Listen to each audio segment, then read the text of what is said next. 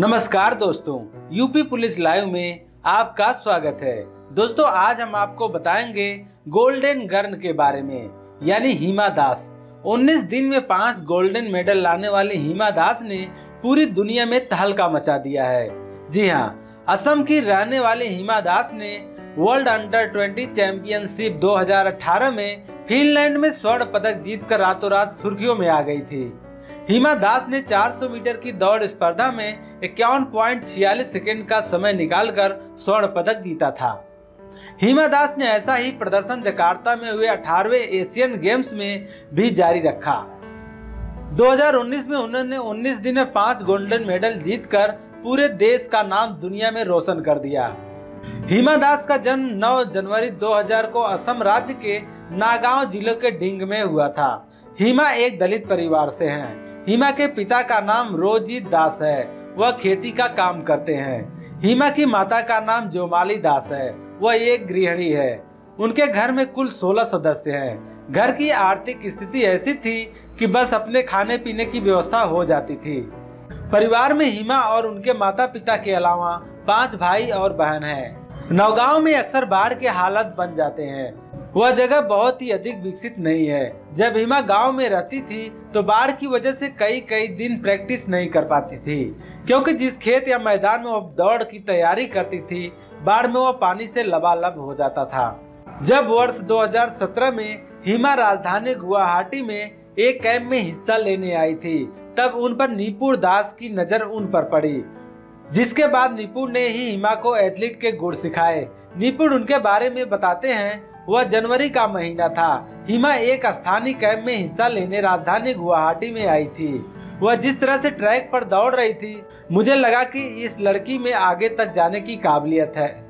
इसके बाद निपुण हिमा के गाँव में उनके माता पिता से मिलने गए। और उनसे कहा कि वे हिमा को बेहतर कोचिंग के लिए गुवाहाटी भेज दें। हिमा के माता पिता गुवाहाटी में उनके रहने का खर्च नहीं उठा सकते थे। इस मुश्किल स्थिति में निपुण ने ही एक रास्ता निकाला। वे बताते, मैंने हिमा के माता पिता से बातचीत की और उन्हें कहा कि हिमा के गुवाहाटी में रहने का खर्च मैं खुद उठाऊँगा। बस आप उसे बाहर आने की मंजूरी दे दे। इसके बाद वे हिमा को बाहर भेजने के लिए तैयार हो गए। शुरुआत में हिमा को फुटबॉल खेलने का शौक था। वे अपने गाँव या ज़िले के आसपास छोटे मोटे फुटबॉल मैच खेलकर 100-200 रुपए जीत लेती थी। फुटबॉल में खूब दौड़ना पड़ता था। इसी वजह से हिमा का स्टेमिना अच्छा बनता रहा, जिस वजह से वह ट्रैक पर भी बेहतर काम करने में कामयाब रही। कोच निपुर दास ने हिमा को फुटबॉल से एथलेटिक्स में आने के लिए तैयार किया। तो शुरुआत में 200 मीटर की तैयारी करवाई, लेकिन बाद में उन्हें एहसास हुआ कि वे 400 मीटर से अधिक कामयाब रहेंगी। रेस के शुरुआती 35 सेकेंड तक हिमा सिर्फ़ तीन में भी नहीं थी। शायद ही किसी ने उन्हें फिनलैंड के ट्रैक पर लाइव दौड़ते हुए देखा होगा। लेकिन एक शख्स थे जिन्हें हिमा की इस रेस का बेसब्री से इंतज़ार था। वे थे उनके कोच निपुर दास। हिमा के यूँ अंतिम वक्त में रफ्तार पड़ने पर निपुर दास कहते हैं, रेस में जब आखिरी 100 मीटर तक हिमा चौथे स्थान पर थी तो मुझे यकीन हो गया था कि वह इस गोल्ड को ले आएगी। मैं उसकी तकनीक को जानता हूँ। वह शुरुआत में थोड़ी धीमी रहती है और अपनी पूरी ऊर्जा अंतिम 100 मीटर में लगा देती है। यही उसकी खासियत है। निपुण कहते हैं हिमा को ट्रैक के करों पर थोड़ी समस्या होती है। यह बहुत हल्की सी दिक्कत है। यही वजह है कि शुरुआत में वह पीछे रहती है। लेकिन जब ट्रैक सीधा हो जाता है तो वह तेज़ी से रिकवर करते हुए आगे निकल जाती थी। 18 वर्षीय हिमा ने आई विश्व अंडर 20 चैंपियनशिप में स्वर्ण पदक जीत कर इतिहास रचा था। पूरे देश को एशियाई खेलों में भी उनका स्वर्ण पदक की उम्मीद थी और वह उनकी दावेदार भी थी। लेकिन सेमीफाइनल में उनके फाउल होने के कारण भारत के पदक जीतने की उम्मीदों को झटका लगा था और हिमा को इस प्रतिस्पर्धा में रजक पदक के साथ संतोष करना पड़ा था। फाइनल रेस में उन्होंने 50.79 सेकंड के समय निकाला था। उस समय हिमा ने शानदार दौड़ लगाई थी। हिमा दास ने 2019 में पोलैंड में आयोजित हो रहे प्रतियोगिता के दो स्वर्ण पदक हासिल किए। यह दोनों पदक उन्हें 200 मीटर की रेस में प्राप्त हुए।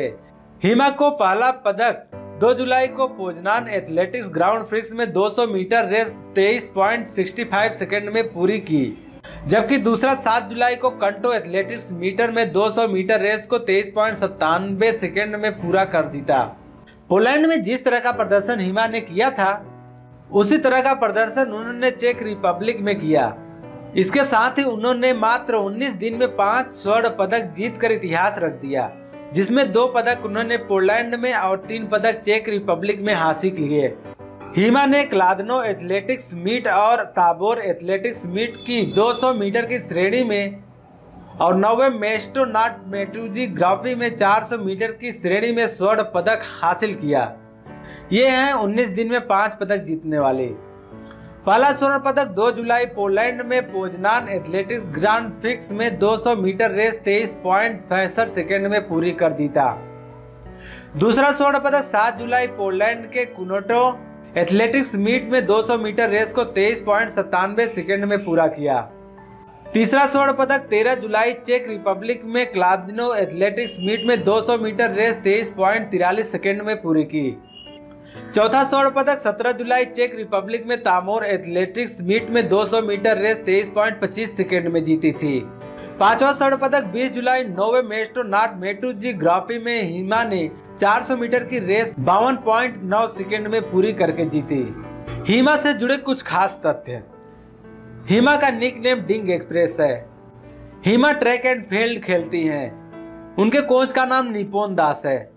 बेस्ट परफॉर्मेंस चार मीटर पचास पॉइंट उन्यासी एशियन गेम्स 2018 जकार्ता का है।